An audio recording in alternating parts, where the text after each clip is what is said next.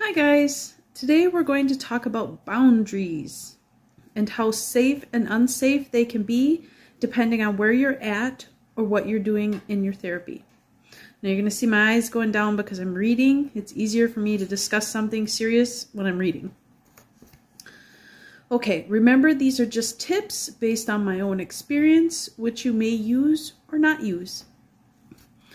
So if you're just starting therapy for DID, I recommend giving it a year before fully 100% giving your trust away.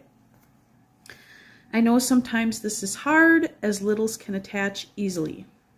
I find a great boundary is a good thing to consider, especially under my own experience going through this process.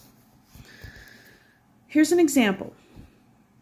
In a year's time, if you think hypothetically on the subject of your therapist or mental health care provider, would you, as a parent or a pet owner, trust your therapist or mental health care provider to babysit your child or pet?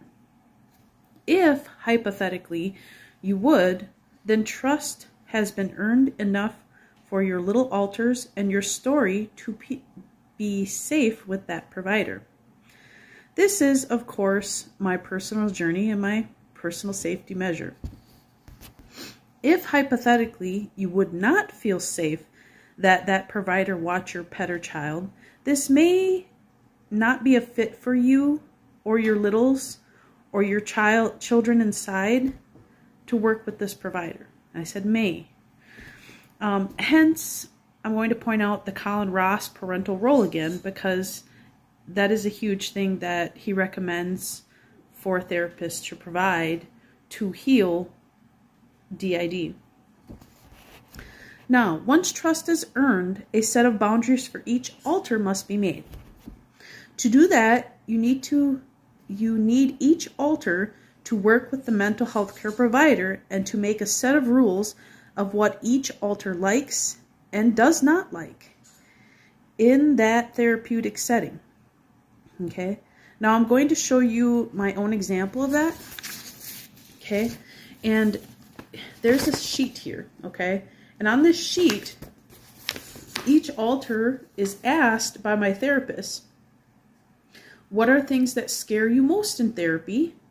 And what are things that you like most in therapy? So what this does is these two questions um, gives your alter that means of trust and support because then the therapist knows what this alter likes and does not like.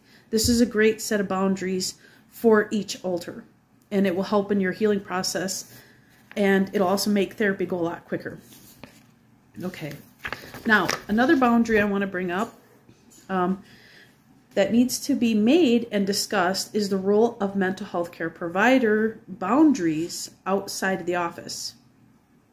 Rule number one, um, for the phone, texting, and emailing, this needs to be established immediately. Can you text? Can littles text? Can you text at night? Can you call at night? All therapists or mental health care providers have rules to keep themselves safe and to have their boundaries met. And if you, as a patient, do not ask what these sets of rules are, this can hurt your therapeutic relationship. So right away, you need to work out. Can I call you at night? Can I text you at night? Can my littles do this? Can they do that? This gives a set of boundaries for you as the host and the older alters to keep a calm therapeutic setting and trust.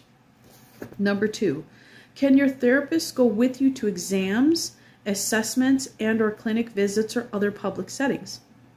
Absolutely. Um, but this has to be planned ahead.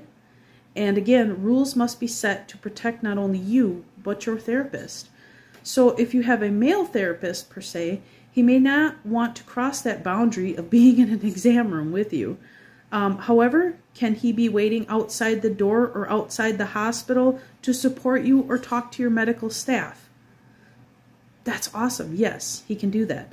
The idea here is to help make your assessments and health easier to manage with your DID. This is something that can be discussed ahead of time as well. Uh, my personal experience, on this is that my therapist is female and she goes where I go to the hospital or clinic setting. She goes with me to assessments, MRIs, you name it.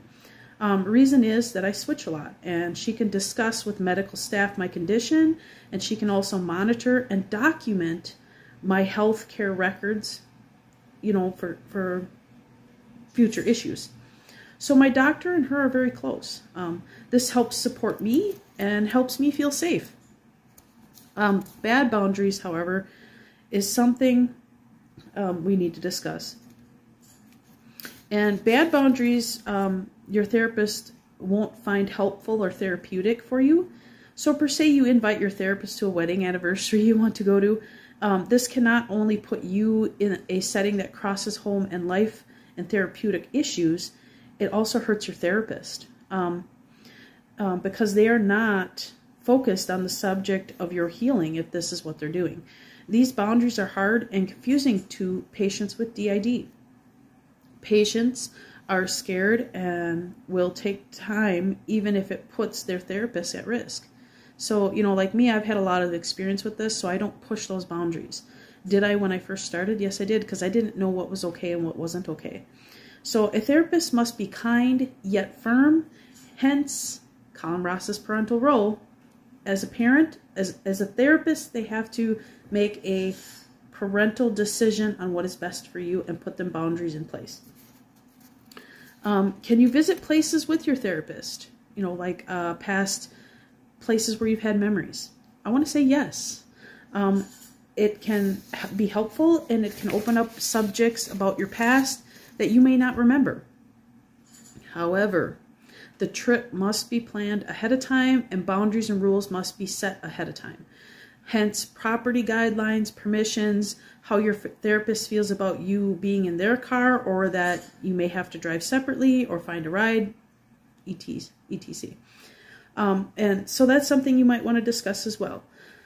Um, that's all I got. I hope that some of this was helpful and the explanations were helpful. And again, always ask your mental health care provider or you're welcome to show my video if it will help with this. Loves. Bye.